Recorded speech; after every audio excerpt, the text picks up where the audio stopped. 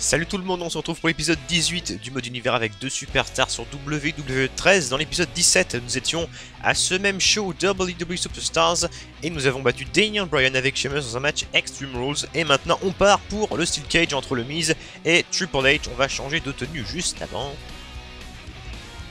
Donc cet épisode n'est pas enregistré juste après euh, le 17 comme j'avais voulu le faire parce que j'avais pas eu le temps euh, de l'enregistrer, on devait sortir, car oui, je ne suis pas un gros no-life, je sors.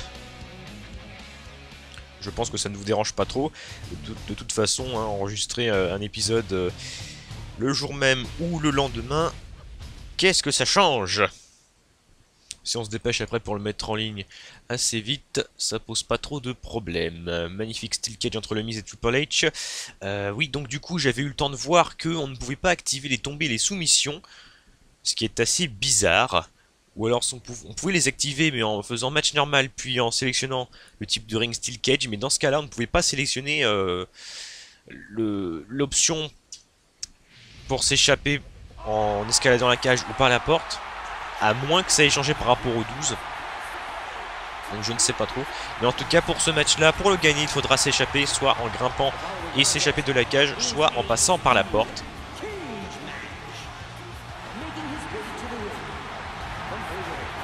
Quoi qu'il en soit, c'est tout, de même un gros match dans un, espace, pardon, je, petit bug, dans un espace restreint avec un grand nom du catch, Triple H, nous devons absolument battre afin de se faire remarquer. Et continuer notre fabuleuse ascension vers le titre WWE. Je rappelle que le Miz est sixième dans le classement des... pas des prétendants, justement, niveau des prétendants, c'est le prétendant numéro 5, mais il est sixième dans le classement pour le titre WWE, puisque le champion est compris dans les classements, il est considéré comme le numéro 1. Donc, petite information au passage, je vais bientôt être en mesure d'enregistrer le show spécial 1000 euh, abonnés. J'ai créé l'arène tout spécialement, j'ai fait tous les matchs dans le mode scénario, enfin je les ai tous euh, programmés dans le mode scénario, mis à part ceux avec euh, arbitre spécial et I quit, puisque bizarrement, à, moins que j'ai mal regardé, ils ne sont pas dans le, dans le mode scénario, ils ne sont pas disponibles dans le mode scénario. C'est une bizarrerie que je ne comprends pas, puisque avant tout, les matchs I quit, moi je voyais ça comme une belle opportunité de faire de nouvelles de nouvelles euh, intrigues, enfin de, intrigues, comment dire, de faire de, nouveaux éléments de scénario pour euh, justement pour un scénario. Et justement, je trouve ça un petit peu bizarre. Pareil pour les high quit, qui sont quand même des matchs assez violents, donc forcément, ça permettait de, ça aurait permis d'enflammer une rivalité dans un, bah, dans un scénario. Donc à moins que j'ai mal regardé, dites-moi euh, si, si vous voyez que c'est possible de mettre des high quit ou des matchs arbitre spécial dans le mode scénario. Euh, parce que honnêtement j'ai pas trouvé et j'ai trouvé ça vraiment très bizarre. Bon au pire ça pose pas de problème, de toute façon les matchs au pire je les fais dans mode exhibition. Du moment qu'ils y sont tous, je pense d'ailleurs commencer à enregistrer eh bien euh, ce week-end même. Histoire de commencer à faire les montages euh, pendant la semaine puisque je fais ma rentrée donc le 7 janvier à Rennes pour je pense que c'est vraiment des, des cours c'est vraiment des cours pour, pour se mettre le pied à l'étrier puisqu'il y a vraiment très très peu d'heures de cours, 12 dans la semaine, 12 heures de cours dans la semaine. Et euh, ce sont des cours euh, magistraux en amphithéâtre donc euh, il n'y aura pas grand chose à faire mis à part prendre des notes donc j'aurai pas mal de temps libre et au niveau des montages et justement pour ce show spécial 1000 abonnés on est même plus de 1000 abonnés on est même un petit peu plus de 1200 je ferai 4 parties 3 matchs par partie puisqu'il y en a 12 au total et quelle que soit la longueur des matchs, je mettrai 3 matchs par vidéo, ce qui risque de faire des vidéos assez longues au vu de certaines stipulations. C'est plutôt pas mal, et je pense même les faire en face commentary. Donc une petite face cam euh, dans le coin, euh, ça pourrait être sympa. Eh bien les entrées servent à ça, servent aussi à faire passer quelques informations s'il y en a, on les coupe s'il n'y en a pas. On va commencer ce match dans la cage avec Monsieur Triple H qui commence déjà à contrer euh, un coup. Attention, est-ce qu'il va tenter? Non, je pensais qu'il allait tenter une prise de soumission, mais il a attaqué le bras plutôt. Et court, court, court, et court. Bon allez, je le fais alors. Et je me fais contrer, magnifique. Ah, bien joué. Je suis sûr que c'est ce qu'il voulait que je fasse. Il voyait que je voulais qu'il le fasse et il a voulu retourner ça contre moi. Vous avez, vous avez vu comment il est malin. Allez, petit Joe Breaker pour me venger.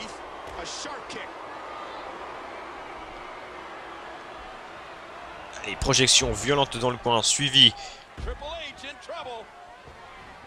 Oh D'un boot dans ta face Allez, on piétine aussi le visage. On va derrière. On a tenté un coup derrière la tête, mais il a esquivé. Et cette fois, il, ah, il fait une attaque en courant, une prise en courant. Un DDT, pour ceux qui préfèrent en anglais. Un DDT, pour ceux qui préfèrent à la française.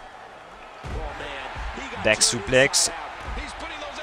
Pour attaquer la tête. Allez, les coups qui pleuvent. Et le dernier qui ne passe pas, dommage. J'aurais pu enchaîner sur une prise adversaire sonnée.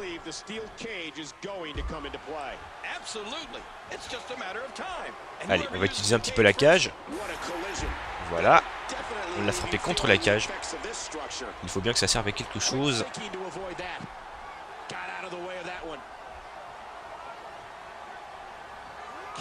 Shoulder jump breaker. Là, on attaque bien la mâchoire. Hop, attention, on est contré par un backbreaker. Le diving double axe handle n'est pas passé. Il a été contré par un backbreaker. Même un backbreaker drop. atomic drop.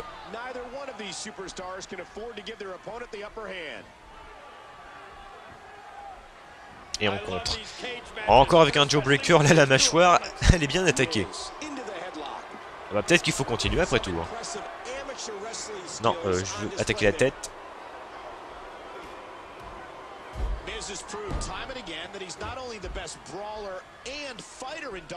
Allez, peut-être un petit euh, Joe Breaker, je crois que non. Ah J'ai pas pu vérifier si on avait un comme ça. Ah bah voilà, en voilà un autre.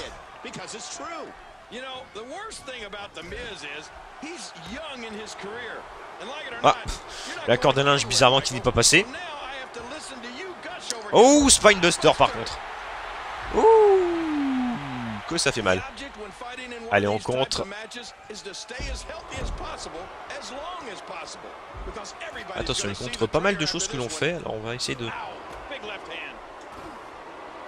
Ah, petite info que j'ai oublié de préciser, alors que Triple H nous sort un énorme DDT, j'adore celui-là, il est très violent, très rapide.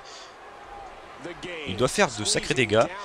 Euh, autre petite info concernant des scénarios, puisque vous savez, je suis encore euh, pas tout à fait à la fin de mon scénario sur WWE12. Il reste l'épisode 4 de SmackDown que je compte, que je compte pardon, commencer à écrire pendant cette semaine de rentrée. Euh, tout comme, pourquoi pas, le pay-per-view Hell in a Cell que je vais commenter. Je ne vais pas commenter SmackDown, par contre Hell in a Cell, le pay-per-view, le dernier pay-per-view du scénario sur WWE12, je le commenterai moi-même, puisqu'il y a tellement de personnes qui me demandent de commenter mes shows.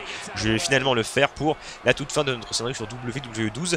Et je vais peut-être aussi commencer à écrire le scénario sur WWE13, où CM Punk sera mis à l'honneur un petit peu la façon d'un Road to WrestleMania.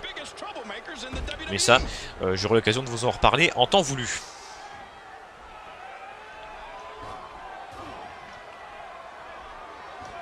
Hop là, on esquive. Ah, Peut-être One-Handed Bulldog pour le faire saigner déjà. Oh, attention. Hop, attention, je pensais pouvoir placer le coup de pied, mais il a contré. Back body drop, cette fois c'est à mon tour. Allez, on va débloquer peut-être un coup spécial. Allez, avec une corde à linge. Attention. Le DDT après l'avoir amené sur ses genoux. Non, je veux le projeter dans le coin. Je me suis un peu loupé sur ce coup-là. Pour faire... Déjà pour le retourner, le mettre dans le bon sens et faire une mise line. Et voilà. Et on va se dépêcher de le relever tant que notre petit F est rouge. Là où notre... Eh, dommage. Tant que notre finisher est plus puissant, il est devenu blanc. Allez, Skull Crushing Finale, puis on va sortir du ring, on va sortir de cette cage, on va s'échapper, on va gagner, on va y aller, on va gagner contre Triple H. Je suis au sommet de la cage. Eh bien non, je me jette sur Triple H pour un plongeon complètement manqué.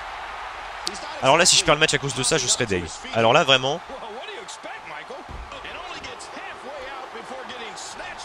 Hop là On a tous les deux pensé la même chose. C'est lui qui sort la corde à linge. Il se venge avec quelques coups de poing. Ah, j'ai voulu faire le spectacle à la façon euh, Jimmy Snuka. C'était un énorme et un immense fail. Tu descends. Je t'amène donc euh, dans le coin inférieur gauche. Histoire d'essayer de m'échapper par la porte. Avec, comme le dit Michael Cole, un superplex time. Et là, on va ramper. Hop là, oh le gros, oh là là, oh le gros loupé là. Oh, encore. C'est pas la même vitesse que les autres. Alors là, je suis euh, pas terrible. Ouais, ouais, ouais.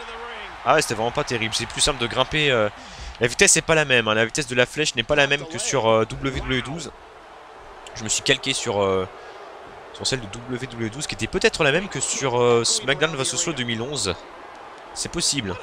Parce que c'est vraiment une vitesse, enfin un rythme que j'ai bien bien chopé pour avoir la flèche quasiment au maximum pour grimper par la porte. Pour grimper par la porte. pour m'échapper par la porte, excusez-moi. On ne grimpe pas par une porte, on sort par une porte.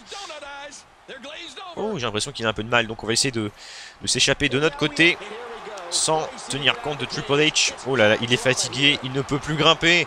Il est fini, il est mort. Et eh bah ben, cette fois je ne ferai pas la même erreur. Je vais m'échapper sous ton nez. Coucou, c'est moi. Au revoir Triple H. Au revoir. Bye bye. Et voilà la victoire de mise sur Triple H dans le main event de Superstars.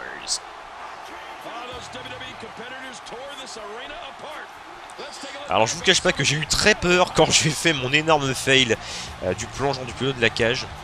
Ça aurait été trop beau. Bon, au moins, on a gagné le match. Même avec ça. Alors là, franchement, si j'avais perdu le match à cause de ça, j'aurais été un peu dégoûté, franchement. Ah oui, là, les coups de poing de Triple qui ont fait signer le mise. Et deux catcheurs cette fois qui ont été euh, blessés jusqu'au sang. Et là, l'échappée du mise pour la victoire.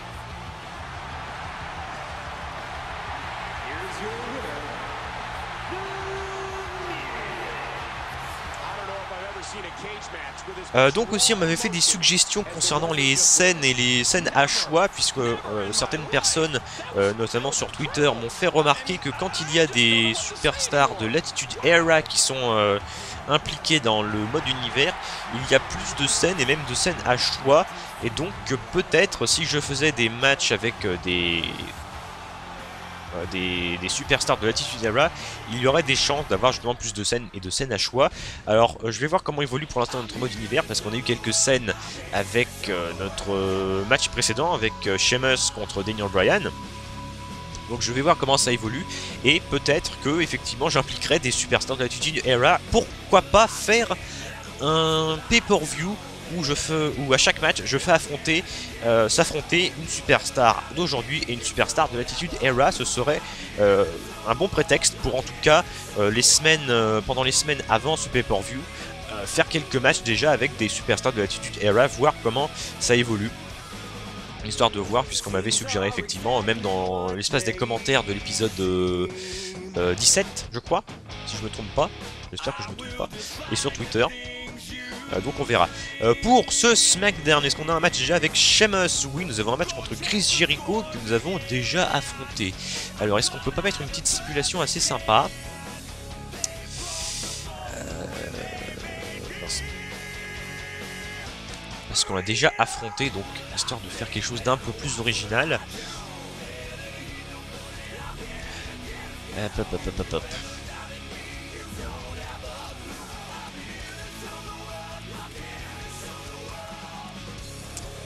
Match de table. Euh, pas un first blood parce que bon voilà. Euh, écoutez, on va faire. Ah bah écoutez, on va faire un truc un petit peu original. Euh, oui, sauf que faut modifier les règles et ça, ça ne sera pas pris en compte si je sauvegarde. donc de toute façon, comme je compte faire l'épisode 19 maintenant, je vais le faire juste après celui-là. je je peux d'ores et déjà vous annoncer que ce match sera un 2 out of 3 false count.